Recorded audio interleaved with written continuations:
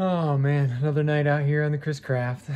Can't uh, can't love it enough. So tonight I'm going to be working on repairing this, where the uh, the pin came out of the bracket here. So I'm gonna get out old uh, splatter McBooger nuts and uh, try to weld this back in here, so that way I can get it uh, get it buttoned up, so we can potentially go out. It's supposed to have good weather tomorrow, so everything will be nice and warm but, uh, but we'll see. So I'm gonna pull this bracket off and uh, get the uh, get the welder out and see what we can do. So here we go. Remember what I did with the wrench.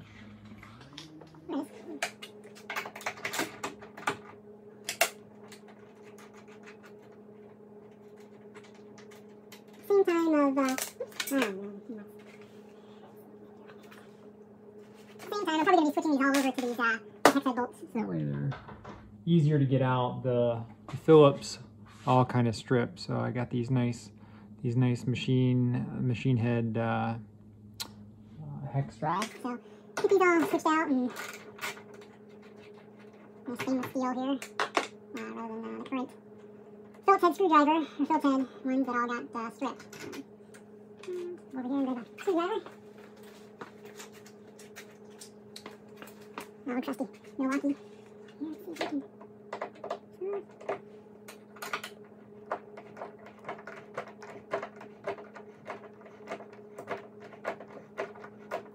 The problem with these is they cut all these bolts short after they had uh, mounted them, and the threads on the ends are all just mangled, and uh, it makes it really hard to work with. So, you can see here. Drop everything in my washer, so it's a little bit hard to see here, but they uh, cut these off and uh, mangle the threads up pretty bad, so they're a little bit hard to work with, and uh, make it so that it, uh, yeah, just doesn't want to doesn't want to cooperate. Sometimes I actually couldn't get a couple of them back on. Um, in the fine with the, uh, the hex ends. But uh, these I at least had off once before, so they're not too terrible. But uh, we'll uh, see if I can go ahead and get them all swapped out for something that's a little bit more maintainable in the future. So I think I've got enough that I can uh, do that. Maybe can't see. Yeah, see, I can't even use my fingers, but then it's completely out. There we go. So, so I can see, I don't can tell this one's a little bit uh, misshapen here, so there's a better view. Uh,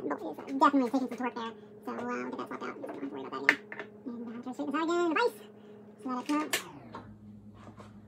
So it doesn't look like that. So try to get that nice and straight and then we'll get that welded up and uh, at least try to straighten out the other side too because it's in uh, equally as bad shape. So we can go there and take a look at that. Let's see what that's got going on. So not a whole lot of drama, uh, which is not, which is a little bit unusual, uh, but uh, you know, just another little thing to do here.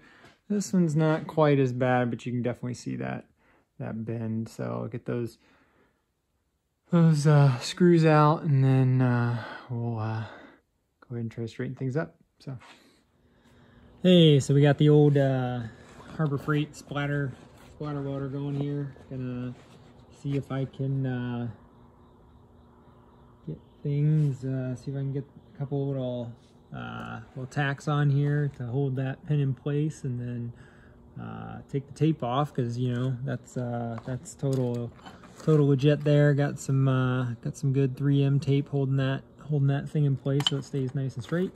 Uh, get the get the initial tacks in there and then take that off and try to weld up the backside as well as uh, put a couple more welds on the on the front just to make sure it's nice and strong. And then uh, I may do the same thing on the uh, on the, the, other one. So uh, got the old Harbor Freight welder here. To rock and roll. See how this goes. Help if I turn it on.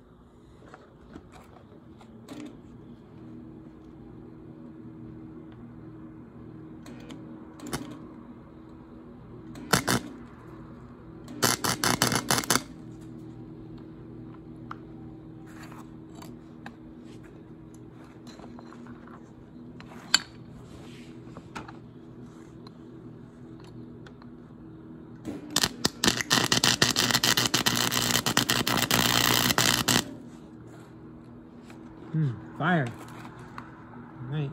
Let's see. What did I do here?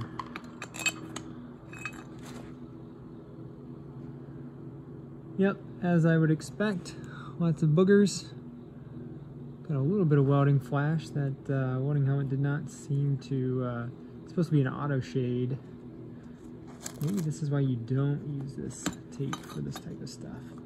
But uh, at least it looks like the, the pin is kind of holding. But uh, go ahead and try to get some more tacks on there. So get going.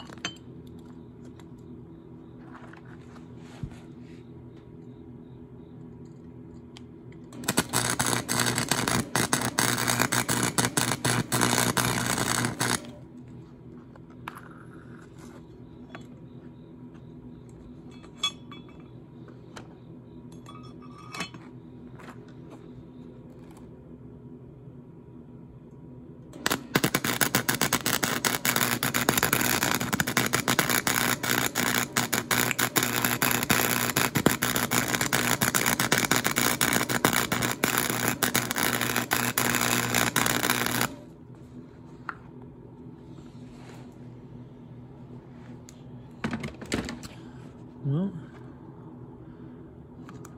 fill the whole thing up with weld there. Pin does not look straight.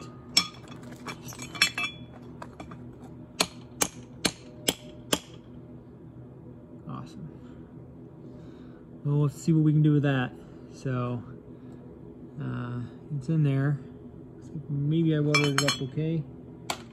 Need to maybe check the batteries in this welding helmet. It uh, did not provide quite the uh, the uh, quick quick change that I would have liked.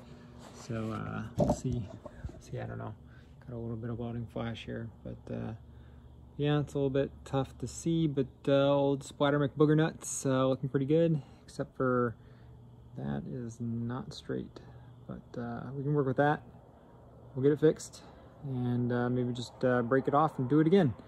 But uh, we'll see how things go. So here we go. All right, we'll go for uh, shot number two here on the tacks. Uh, I know the lighting's pretty terrible, but uh, hopefully the welder uh, fixes that here in a second. So, turn on.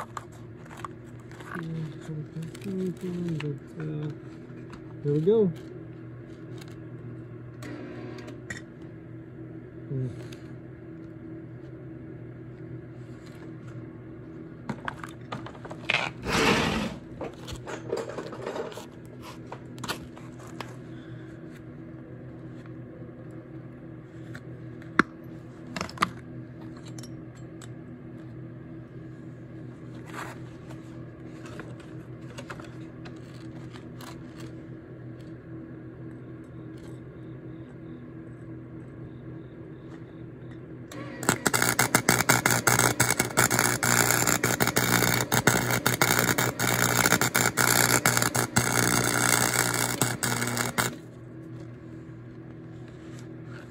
Nice healthy bead on there. Let it cool for a second. Spritz this here. Best thing to do, but whatever. Makes for a cool video. Okay, I'm gonna take the C-clamp off now.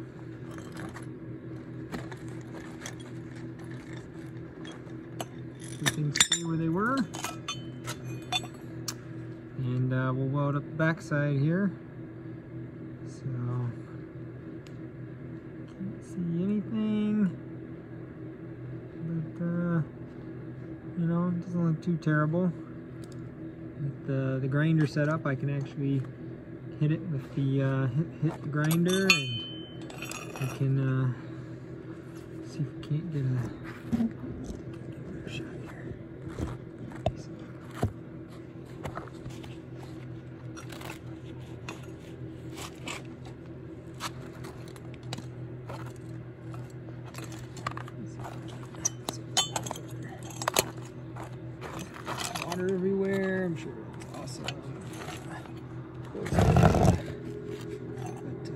we go.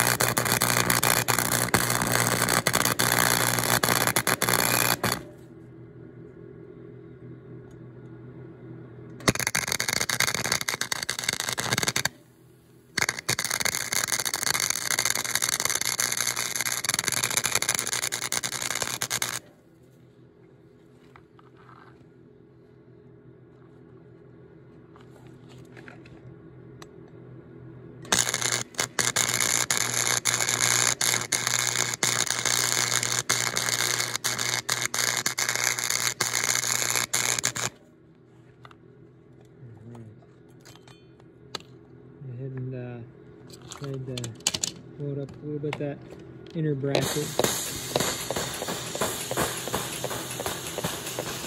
Hot.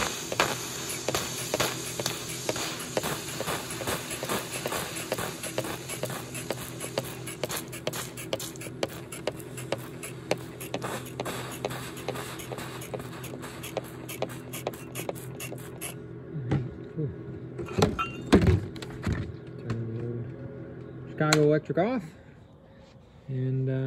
this thing with the grinder here in a little bit after things cool off. That looks a lot better. Uh, it's straighter, but it's the, you know, booger to the max. So that's how we do it here on the old Willis garage. We get the old boogers going and uh, yeah, very cool. All right, now we're gonna hit the hit this with the grinder. See what uh, what other kind of damage we can do. So, uh, don't really know that I need these because it's not that loud. But uh, you know, do it for effect, right?